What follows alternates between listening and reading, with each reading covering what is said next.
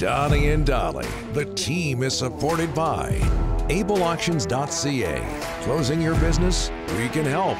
Wednesday. It's Wednesday, right? Yes.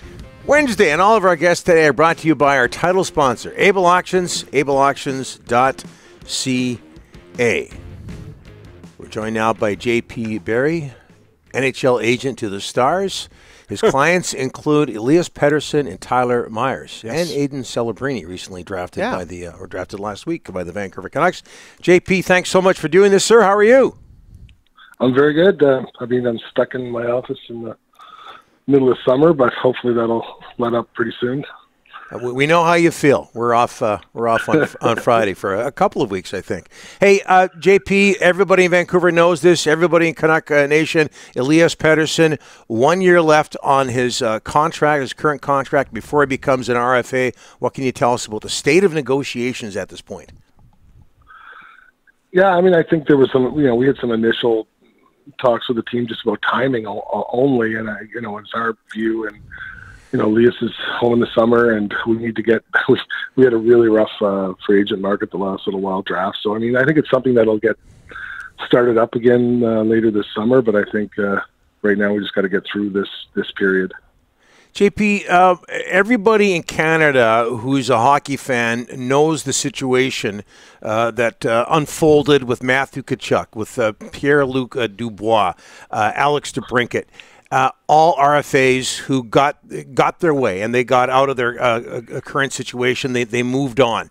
Um, Okay, okay, but yeah, but I but I represent David Pastrnak and uh, Filip Forsberg, and they, you know, yeah, but JP, got, can, they got can, the deals done. They they did. Uh, uh, has the landscape changed though in in Canada at the very least, JP, because of those moves?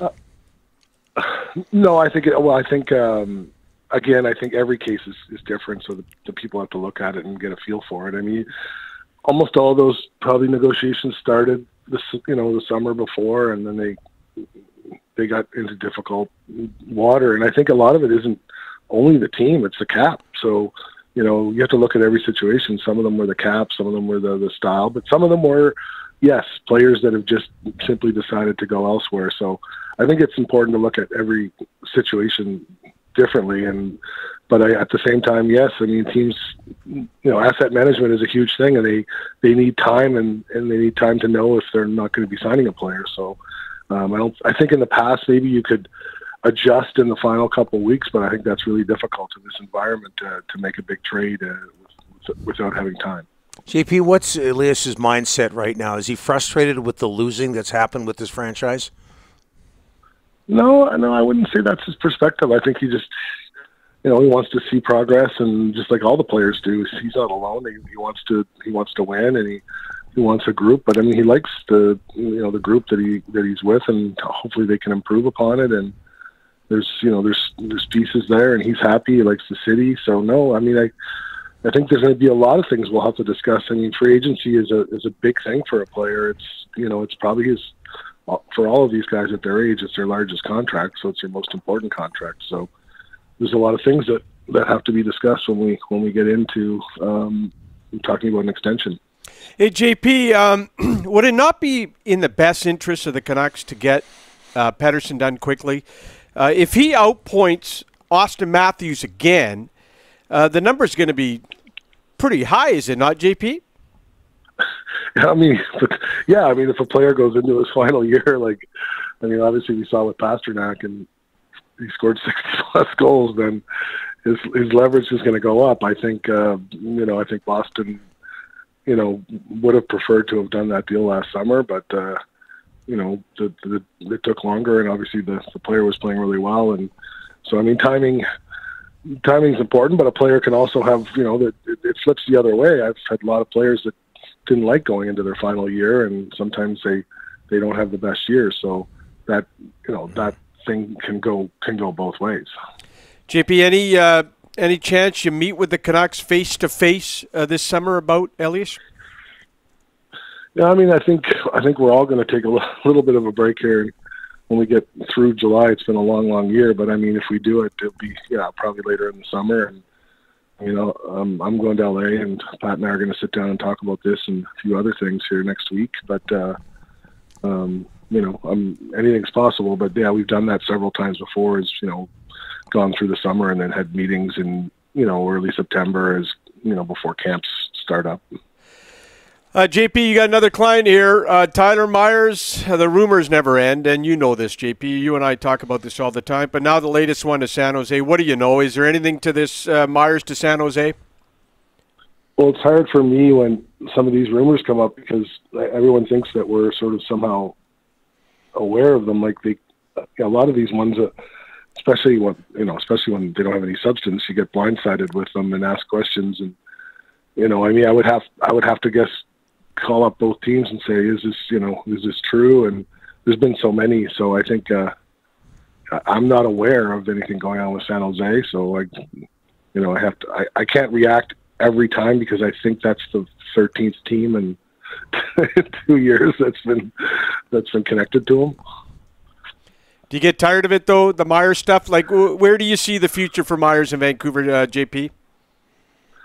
Well, he, I mean, he he loves it there, but he, you know, he's he knows it's his final year. He has to he has to have a really strong year for his own future too. So, I mean, he he likes playing for this team. He, he liked the changes last year. He liked dealing with the coaches. Um, I think he can have a really good year. He thinks he can, and then, you know, he immediately becomes a, a really good trade asset next. You know, no matter what happens, if he's not going to be re-signed or depending on how the team's doing, like his contract's going to be mostly paid out through signing bonus later this summer, and then he's playing on I think a million dollars. So he's going to be an interesting, you know, asset at the trade deadline next year, no matter what. If he's not re-signed in Vancouver, or you know, depending on how the team's doing talking with JP Barry. Uh, JP, are, are, the Canucks, in your opinion, headed in the right direction under Patrik Allvin and Jim Rutherford? Yeah, I think they're doing. I think they're doing their best to bring to bring pieces. I think this was just a you know I can you can look around the league. This was a really tough market, um, you know, to to do things cap wise, and mm-hmm. I think it spilled over to everybody. I think there's a lot of teams that would have liked to have added more. Um, I think it wasn't going to be by free agency because of the, the cap and how tight the cap was. So I think there's going to be tinkering with rosters. Like I think there will be more little moves uh, sideways to help depth around the league and help teams add pieces, but it's going to have to be by trade. I think in the next while over the next several months. How much do you expect uh, the salary cap to rise next offseason?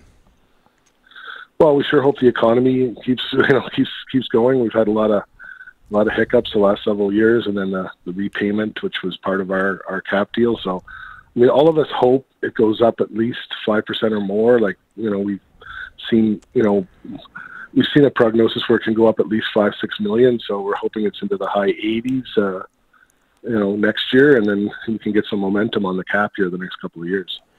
Hey, JP, I'm going to go back to uh, our, earlier conversation here. Uh, but, you know, Dubois, Tkachuk, uh, DeBrincat, we hear about, you know, the possible mass exodus out of Winnipeg and, and, and maybe a Calgary, you know, playing in a Canadian market much different than an American market uh, because of taxes, the, the border, all the attention from media and, and fans. Should, should Canadian fans be worried about the state of their teams?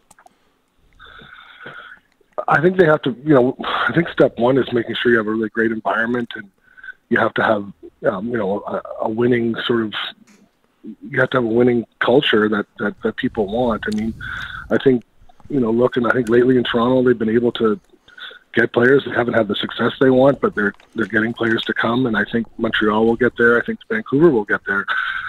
I don't, I think the tax thing gets overstated. I mean, there, there are tax mechanisms out there where playing in Canada can be less than playing in Florida. So you know there are things that can be done with a contract and bringing in free agents tax wise, and so I I think it's more about just building your organization. I don't think it's a, I don't think it's a tax thing or or a Canadian thing. There are certain players that just do want to go to certain locations, and there's nothing you can do about that if they want to live in Florida or they want to live in Nashville. That that does happen.